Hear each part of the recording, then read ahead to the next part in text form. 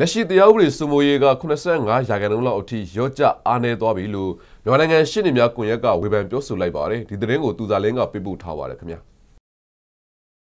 မြန်မာနိုင်ငံရဲ့တရားစီရင်ရေးပိုင်းကတော့တရခွေမှာအရေးချင်းမပြေဝတဲ့သူတွေကတရားစီရင်ရေးပိုင်းတွေမှာလောက်ကင်ဆောင်ရွက်နေတာတွေရှိတယ်လို့ဆိုပါတယ်။ဒါ့အပြင်တရားဥပဒေစိုးမိုးရေးပိုင်းမှာလည်းအရင်ကထက်85ရာခိုင်နှုန်းလောက်ထိအားနည်းလာပြီဖြစ်တယ်လို့ဩဂုတ်လ3ရက်နေ့ကဘိုထောင်မြို့နယ် House of Okin မှာကျင်းပတယ်။ မြန်မာနိုင်ငံရှေ့နေများကွန်ရဲ့နှစ်ပတ်လည်ညီလာခံမှာတော့တရားလွှတ်တော်ရှေ့နေဦးရောဘတ်ဆန်းအောင်ကပြောခဲ့တာပါ။တရားဥပဒေစိုးမိုးရေးမှာ85ရာခိုင်နှုန်းရော့ကျသွားပြီအားနည်းသွားပြီ။အရင်ကိကတကောကထွက်ပြီးတယ်။အခုတကောကထွက်မပြုတ်ဓာတ်နဲ့ထိုးတယ်အင်ရှင်ကို။အဲ့ဒါတရားဥပဒေစိုးမိုးမှုအားနည်းတာ။နော်တချို့နေရာမှာရဲကရိုးရိုးသွားဖမ်းရမယ်ဥစ္စာသွားမဖမ်းမယ်နဲ့သွားပြီးတနက်နဲ့ပြစ်တတ်တယ်ပြီးတော့ပုတ်တိပုံမှအမျိုးမျိုးတက်တယ် ဒါပြင်တရားရုံးတွေရဲ့အမှုကိစ္စတွေဖြစ်ရှင်းတဲ့အပိုင်းမှာလည်းအနောက်ကနေကာကွယ်ပေးနေတဲ့အဖွဲ့အစည်းတွေရှိနေတယ်လို့လည်းဆိုပါတယ်လက်တွေ့မှာတရားခံတွေကိုဖမ်းဆီးတဲ့အပိုင်းမှာလည်းထိထိရောက်ရောက်ဖမ်းဆီးနိုင်ခြင်းမရှိပဲပြည်ထရေးပိုင်းကအားနည်းချက်တွေရှိနေတယ်လို့တရားလွှတ်တော်ရှင်းနေဦးအောင်သိန်းကထောက်ပြပြောဆိုထားပါတယ်ဘယ်ပြဿနာပဲဖြစ်ဖြစ်နောက်မှာအနောက်ကနေနောက်ခံလုပ်ပေးနေတဲ့အုပ်စုတွေရှိအင်းနဲ့အားနဲ့ငွေရှင်ကျေးရှင်တွေရှိတယ်အဲ့ဒီလူတွေက ဒီသူတို့နဲ့ပတ်သက်တဲ့လူတွေအမှုခင်းဖြစ်ရင်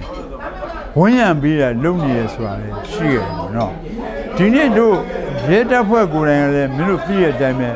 တက္ကသိုလ်ကြီးတန်တန်လူသက်မှုငါးလုံးနဲ့လူသက်ဘာမှမဖော်နိုင်ဘူးနော်နောက်တစ်ခါတရားခံပြေးမှုတွေရှိတယ်ဘာမှမဖော်နိုင်ဘူးအဲ့ဒီဟာတွေရဲ့အားနည်းချက်ကဘာဖြစ်လို့လဲဆိုတော့ပြည်ထောင်ဌာနအားနည်းချက်လို့ဆရာတို့ကပြောအောင်ပြည်ထောင်ဌာနရဲချုပ်တွေ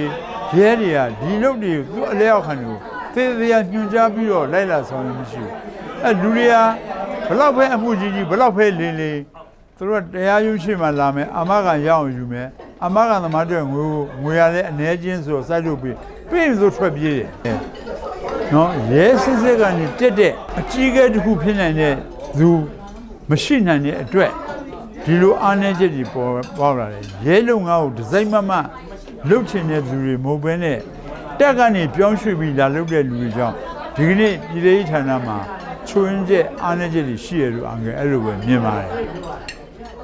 NLD အစိုးရလက်ထက်မှာတော့တရားရုံးတွေမှာစည်ရင်နှမ်းပါတဲ့သူတွေကိုအကူအညီပေးဖို့အတွက်ဥပဒေအထောက်အကူပြုဖွဲ့ဖွဲ့ပြီးလှုပ်ဆောင်နေတာတွေတော့ရှိပါတယ်။ဒါပေမဲ့တရားစီရင်ရေးအပိုင်းမှာတက်မဲ့ဆောင်ရွက်မှုရှိမရှိကိုတော့စောင့်ကြည့်ရတဲ့အနေအထားလောက်ပဲရှိသေးတယ်လို့တရားလွှတ်တော်ရှင်းနေဦးအောင်သိန်းကပြောပါတယ်။ ကျမသူစာလင်းပါ